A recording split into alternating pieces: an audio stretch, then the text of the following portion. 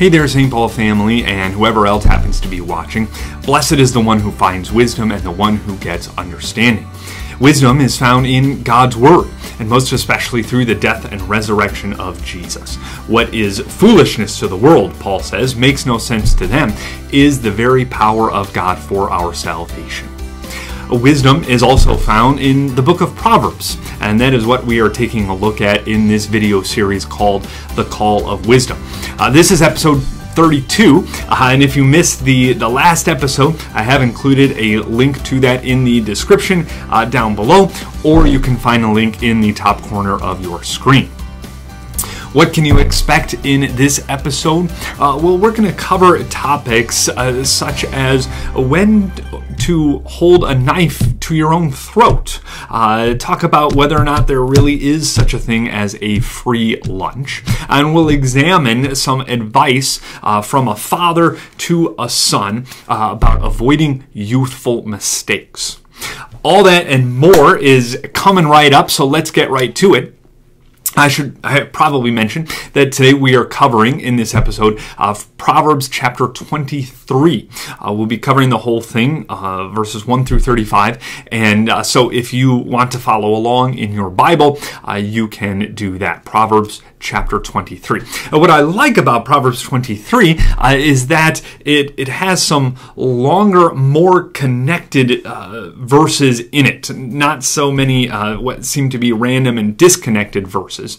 Uh, and so we, we get a chance to kind of uh, take things as a unit. And we'll, we'll start off, the first unit uh, is in verses 1 through 8.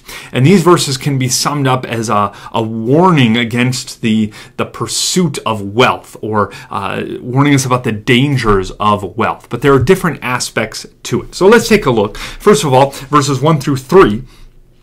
When you sit down to eat with a ruler, observe carefully what is before you and put a knife to your throat if you are given to appetite. Do not desire his delicacies, for they are deceptive food. Put a knife to your throat? What's going on here? Is this something that we should take literally? Uh, I recall watching the, the documentary a couple months ago about the, the Duggar family and about their uh, fundamentalist Baptist ways. And one of the people who was talking in that documentary described a roommate who she walked in on once who was literally uh, holding a knife to her throat while she had uh, food in front of her. And she was taken quite literally, uh, verse 2 here in Proverbs chapter 23. But this verse is not meant to be taken literally. Rather, it is uh, so meant to uh, teach us how to curb our appetite, right? You don't have to, when you've got that package of Oreos uh, sitting in front of you. You don't have to try to stop yourself putting a knife to your throat. Okay, no more, right? This is along the lines of, of Jesus saying to us, you know, if your eye causes you to sin, uh, pluck it out and throw it away. All right? Jesus doesn't really want you to pluck out your own eye. He is getting at the very seriousness of temptation and sin and of avoiding sin. And here we are to avoid the sin of, of gluttony Right? Observe carefully what is before you. Do not give in to all of your urges and your appetites. And really, that could be a theme for, for all of this proverb, as we'll see here. Let's keep going, verses uh, 4 through uh, 6. Do not toil to acquire wealth, be discerning enough to desist. Uh, so, in other words, don't uh, be, be, careful about ambition for wealth. Make it your goal simply to uh, acquire wealth. Um, if you happen to acquire wealth, fine, right? But uh, that should not be your number one goal. And why? Because when your eyes light on it, it is gone. For suddenly it, it sprouts wings, flying like an eagle toward heaven. Right? Wealth, the stuff of this world, is temporary. Right? You may uh, take, you may gain wealth, and like that, it's it's gone. And certainly, when you die, you don't get to take it with you. Be careful. Then, going on, do not eat the bread of a man who is stingy. Do not desire his delicacies, for he is like one who is inwardly calculating. Eat and drink, he says to you, but his heart is not with you.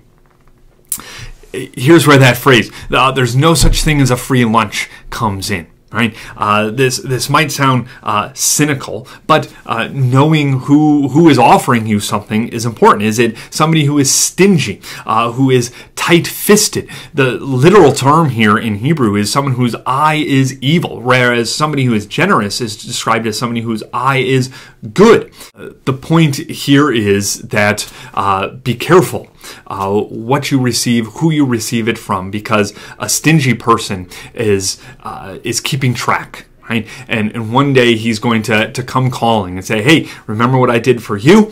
Now you owe me. Uh, how different this is from our Heavenly Father, right? Who gives and gives generously to us without expecting anything in return. He, he is not um, keeping track of, of, all of that and you know going to come up to you and say okay well now the now the bill is due. Now you have to do this for me. No our God is generous right? Uh, and uh, he delights in giving good gifts to his children I think of what Jesus says in Luke chapter 14 uh, when he says, When you throw a feast, don't throw a feast for people who can throw a feast for you in return. Rather, invite those who, who have nothing to offer, right? Who, who can't throw a feast for you in return. The, uh, the poor and the disadvantaged, right? Uh, and, and you will receive your reward from your Father in heaven uh, because it is pleasing to Him when we do something like that. And that actually leads well into the next section, verses 10 and 11, where it says, Do not move an ancient landmark or enter the fields of the fatherless, for their Redeemer is strong. He will plead their cause against you. This phrase, do not move an ancient landmark, comes up a few times in Proverbs. In fact, it was back in, in Proverbs 22 as well. What is that referring to? Well, uh, in, in ancient Israel, ancient times, uh, property was marked by literal landmarks, often by boundary stones, where it indicated this is where my land begins and, and your land ends. And so somebody could try to, maybe under the cover of darkness, try to move somebody's boundary stone to expand their own property uh, and take away what belongs to you. Think of like a, a neighbor here who might build his uh, fence a, a, foot over the property line and, and take some of the property that belongs to you. Right? Don't do this. That's stealing. Uh, and especially don't do it uh, to those who have no way to defend themselves, uh, the disadvantaged and the vulnerable. Why? Because God is on their side. Right? He is their redeemer. He is their defender and advocate. And one day uh, you will be called to account uh, for taking advantage of those uh, who cannot uh, defend themselves. Now, verse 15 begins a section that extends actually all the way into Proverbs chapter 24, uh, but it is uh, Solomon as a father uh, dispensing more advice to his son uh, giving him wisdom. And we get a sense here that, that Solomon is, is trying to get his son to avoid uh, the same mistakes that he has made. Maybe you've done that as a parent or a grandparent. You know the mistakes you've made. You don't want your children to make the same mistakes, and so you try to, to pass on that wisdom and knowledge. Now, it doesn't mean that you have to have made those mistakes in order to, to pass on uh, the wisdom here, but we know that in the case of Solomon, he, he did did make a lot of these mistakes.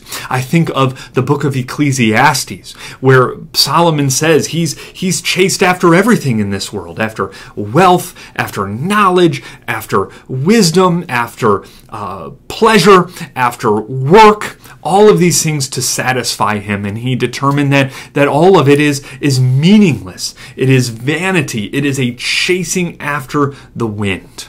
And so Solomon here is trying to dispense that same sort of knowledge to his son. And he says, right, my son, if your heart is wise, my heart too will be glad. And this, uh, this should be uh, resonate with Christian parents and grandparents. That what makes us most proud, makes our heart most glad, is when we see our children making wise, godly decisions. More important than their academic achievements or what they're able to do on the uh, the, the, sports field or, or court or in any other activity that they're involved in.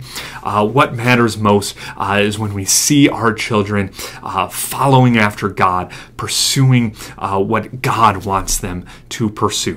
Makes our heart glad. And, and here, again, Solomon encouraged his son to curb his appetite, not just his stomach, all right, but his appetite uh, for uh, for wine and strong drink, uh, for for sex, for for sin itself. Right? Starts off verse nineteen. Um, no, excuse me, uh, 17. Let not your heart envy sinners Boy, this is a temptation for all of us. We look at those who are indulging in the things of this world, and boy, it looks like they're having all the fun. Solomon says, No, don't fall into that trap. Do not envy sinners. Rather, continue in the fear of the Lord.